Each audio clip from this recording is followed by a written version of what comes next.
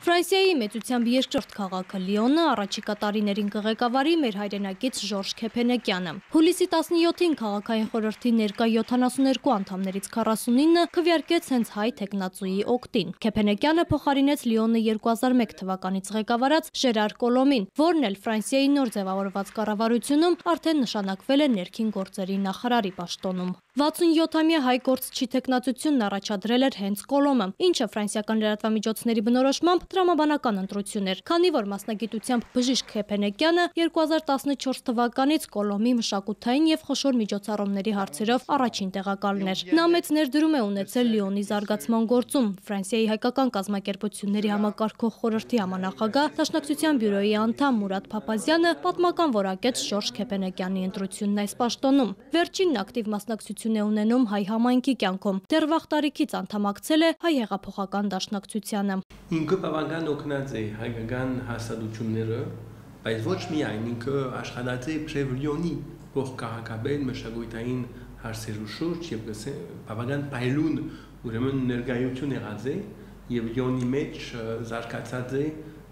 եւ մագարտակի բերած է մշակույթային քաղաքականությունը։ Մուրադ Փափազյանն ասում է, Ֆրանսիայի քաղաքական դաշտում հայերի համար դրական պատկեր է ստեղծվել, հաշվի առնելով նաև այն փաստը, որ հունիսին Ֆրանսիայում տեղի ունեցած խորհրդարանական ընտրությունների արդյունքում 3 հայ падգամավոր է ընտրվել։ Ֆրանսիան այս տարի ընտրեց նոր նախագահ, ձևավորեց նոր կառավարություն, եւ այս համատեքստում Փափազյանի կարծիքով երկրի երկրորդ ամենամեծ քաղաքի ղեկավարի հայ լինելու փաստը կարևոր դռներ կբացի Հայաստանի համար։ Նախկին նախագահի Ֆրանսուଆ Օլանդի հայամետ քաղաքականությունը Ֆրանսիայի հայկական կազմակերպությունների համակարգող խորհրդի համանախագահի խոսքով իրենց բավարարել է։ Հիմա նույնն ակնկալում են Ֆրանսիայի նոր ղեկավարից Էմանուել Մակրոնից։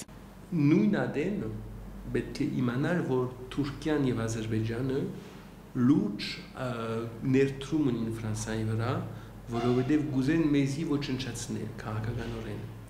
այսինքն նոր միջոցներ կբերեն։ Որպես օրինակ Փափազյանը նշեց, որ խորհրդարանական ընտրություններին մասնակցելու համար Ֆրանսիայում թուրքերը կուսակցություն ստեղծեցին, առաջադրելով 55 տեխնացու։ Իհարկե նրանցից եւ ոչ մեկը չընտրվեց։ Ամեն դեպքում սա նշանակում է, որ թուրքերը որոշեցին Ֆրանսիայում մարտահրավեր նետել հայերին։ Հուլիսի 1-ից էլ Ֆրանսիայի մահմեդականների խորհուրդը ղեկավարում է ազգությամբ թուրք Ահմեդ Օղրաշը, որը Փափազյանի պնդմամբ Թուրքիայի նախագահ Ռեջեփ Էրդողանի մարդն է Ֆրանսիայում։ Twitter սոցիալական ցանցի իր էջում Օղրաշ առաջն անգամ նման մի գրառում էր կատարել։ Բոլորս Էրդողանի զինվորներն ենք։ Հետո այդ գրառումն իհարկե ջնջվել էր։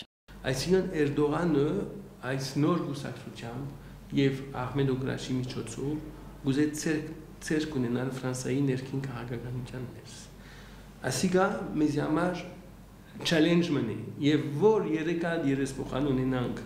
եւ որ